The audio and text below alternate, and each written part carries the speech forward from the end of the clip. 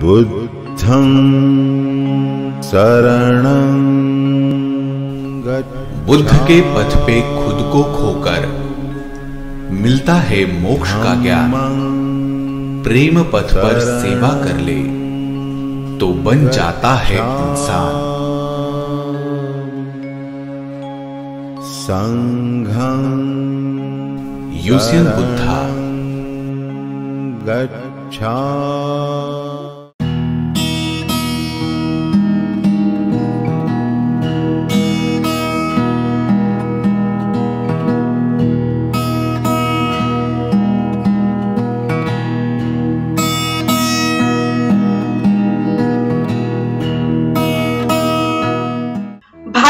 पवित्र भूमि पर अनेक संतों और अनेक विचारवंतों का, अनेक इतिहासकारों का जन्म हुआ। संतों ने अपने अभंग के माध्यम से समाज प्रबोधन किया। विचारवंतों ने विचारों का प्रचार व प्रसार करके समाज को एक नई दिशा की ओर एकरूप किया। तो इतिहासकारों ने अपने ऐतिहासिक संशोधन के माध्यम से ऐतिहासिक धरोहरों और ऐतिहासिक अवशेषों से अवगत करवाया। कुछ इतिहास सामने आए तो कुछ आज भी एक रहस्य बनकर रहे मात्र इन सभी के बीच बहुत से ऐसे भी व्यक्ति होते हैं जो अपना खून पसीना एक करके अपना महत्वपूर्ण योगदान देते हैं, जिनके योगदान से व्यक्ति अपने प्राथमिक आवश्यकता पूर्ण करता है। वो है देश के किसान, और इन्हीं किसान के मसीहा का जन्म विदर्भ की ही मिट्टी के पापड़ गाँव के श्यामराव बापू और राधाबाई इनके घर 27 दिसंबर अठारह को एक विदर्भ रत्न का जन्म हुआ। वो थे डॉक्टर पंजाब राव देशमुख, बहुजनों की शिक्षा के शिल्पकार और कृषि क्रांति के अग्रदूत। भाऊ साहेब अर्थात डॉक्टर पंजाब राव देशमुख इनके चरित्र और कार्य हिमालय से भी ऊँचे हैं। देश के किसानों की और महाराष्ट्र की शिक्षण प्रणाली को भाऊ साहब ने बहुत ही गहनता से अनुभव किया था। भाऊ साहब के पिताजी एक सामान्य किसान थे।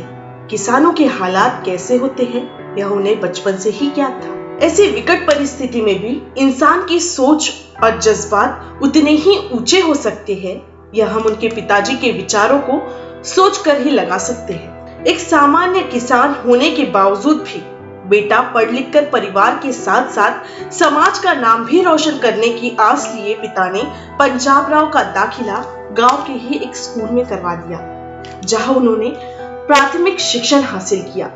माध्यमिक शिक्षा के लिए वे अमरावती के कारंजा लाड़ के एक स्कूल में दाखिल हुए।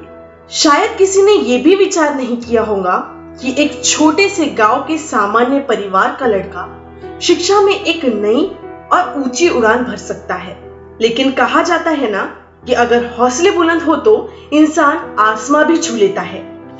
माध्यमिक शिक्षा के बाद उन्होंने पुणे की फर्ग्यूसन कॉलेज से अपनी महाविद्यालयीन शिक्षा पूर्ण की।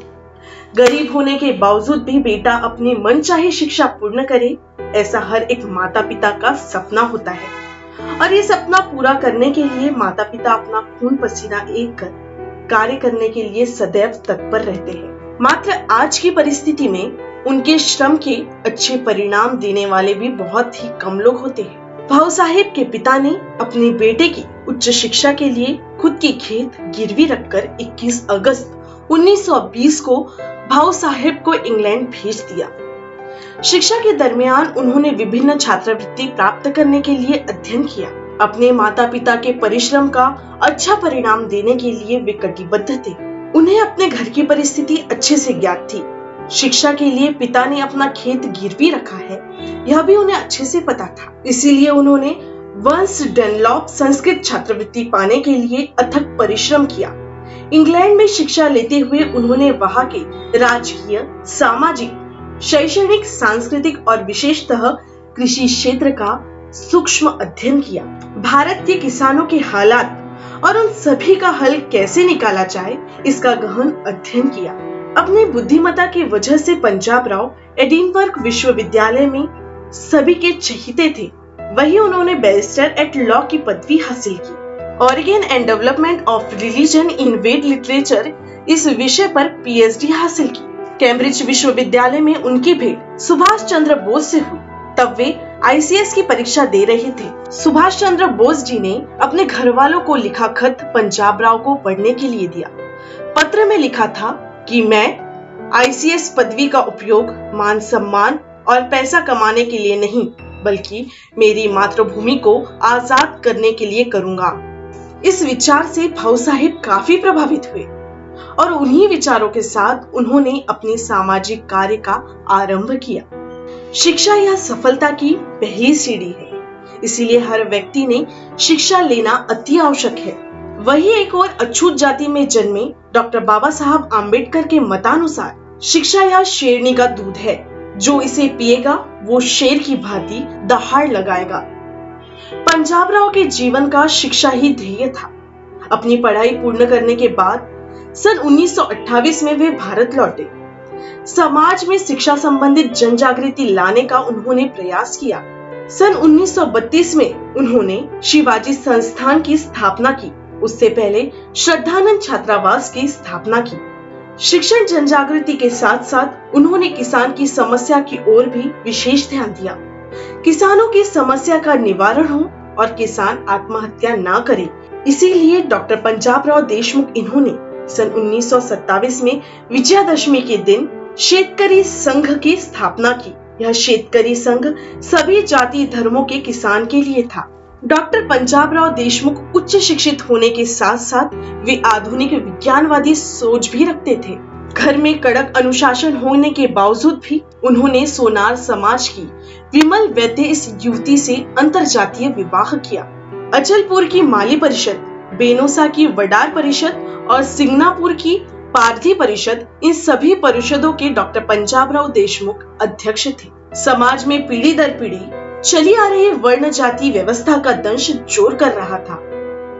इस मनुवादी सोच को खत्म करने के लिए डॉक्टर पंजाब राव देशमुख इन्होंने अमरावती के अम्बा देवी के मंदिर प्रवेश को लेकर सत्याग्रह करने का निर्णय लिया। इसके लिए उन्होंने एक समिति का गठन किया। तेरह और चौदह नवंबर उन्नीस को अमरावती के इंद्रभुवन नाट्य मंदिर में मंदिर प्रवेश के प्रश्नों को लेकर एक परिषद ली गई। इस परिषद में डॉक्टर बाबा साहब आम्बेडकर स्वयं उपस्थित थे। महाराष्ट्र में दलित समुदाय के लोगों को मंदिर प्रवेश करने हेतु यह पहला सत्याग्रह था। तीन महीनों की कोशिशों के बाद यह मंदिर सभी के लिए खुला कर दिया गया। डॉक्टर पंजाब राव देशमुख के कार्यों और विचारों से लोग काफ़ी प्रभावित हुए। शेतकरी संघ और श्रद्धानंद छात्रावास इन दोनों संस्थाओं के माध्यम से उनके राजकीय और सामाजिक जीवन की शुरुआत हुई। सन उन्नीस में उन्होंने अमरावती ज़िले के काउंसिल के अध्यक्ष पद का चुनाव लड़ा और वे विजयी भी हुए। अब वे राजनीति में सक्रिय होने लगे, जिसके चलते उन्होंने तीन बार लोकसभा चुनाव में जीत हासिल की। उन्होंने देश के पहले कृषि मंत्री पद का कार्यभार भी संभाला। जिसके अंतर्गत उन्होंने किसानों के हितों को ध्यान में रखते हुए अनेक योजनाएँ भी बनाई। डॉक्टर पंजाब राव देशमुख यह प्रसिद्ध वकील भी थे। मंदिर प्रवेश सत्याग्रह के समय उन्होंने डॉक्टर बाबा साहब आम्बेडकर जी के साथ साथ कंधे से कंधा मिलाकर कार्य किया। बाद में वे भारतीय संविधान निर्माण के समय संविधान सभा के सदस्य बनकर डॉक्टर बाबा साहब आम्बेडकर जी इनके साथ कार्य किया। इस दरमियान उन्होंने संविधान सभा में किसानों के हेतु के मुद्दे भी उठाए। कृषि मंत्री रहते हुए उन्होंने जापानी भात शेती का पूरे देश भर प्रचार किया और देश में लगभग उन्नीस हज़ार प्रयोगशालाएँ स्थापित की। कृषि मंत्री रहते हुए उन्होंने जापानी भाष खेती का पूरे विश्व भर प्रचार किया और लगभग देश में उन्नीस हज़ार प्रयोगशालाएँ स्थापित की। कृषि मंत्री रहते हुए उन्होंने जापानी भाष खेती का पूरे देश भर प्रचार किया और देश में लगभग उन्नीस हज़ार प्रयोगशालाएँ स्थापित की। सन 1955 में टोक्यो यहाँ आयोजित अंतर्राष्ट्रीय चावल परिषद में उपस्थित रहकर उन्होंने भारत के चावल उत्पाद की जानकारी दी। सन उन्नीस में डॉक्टर पंजाब राव देशमुख दोबारा कृषि मंत्री बने। सन उन्नीस से 60 के दरमियान दिल्ली में जागतिक कृषि प्रदर्शन का आयोजन किया गया। America, Russia, Germany, Poland, Iraq, Afghanistan, Sri Lanka, Brahmadesh, चीन, मंगोलिया, ईरान, वियतनाम आदि देशों के प्रतिनिधि इस प्रदर्शनी में शामिल हुए थे। इसी के बीच अपने सामाजिक, राजनीतिक, सांस्कृतिक कार्यों के बीच अब उनका शरीर भी साथ नहीं दे रहा था। शिक्षण महर्षि, कृषि पंडित, राजनीतिक और कानून के ज्ञाता का 10 अप्रैल 1965 को निधन हो गया। लेकिन किसानों की हितैषी कृषि रत्न डॉक्टर पंजाब राव देशमुख, इनके विचार आज भी उतने ही प्रासंगिक हैं और महत्वपूर्ण हैं जितने उनके रहते हुए हुआ करते थे।